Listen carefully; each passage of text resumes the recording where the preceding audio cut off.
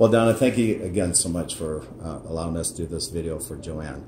Uh, when, in, in your own words, if you can let us know what you thought of her real estate services. I mean, so I've known her since high school, and uh, she's always been.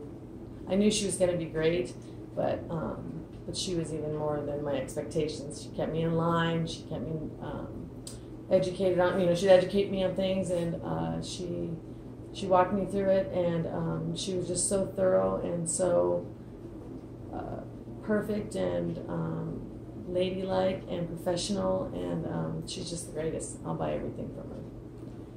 My boyfriend's actually gonna come over to and give her his business. Oh, cool. Very good. Well, is there anything that you would recommend that you change? No, Sounds great.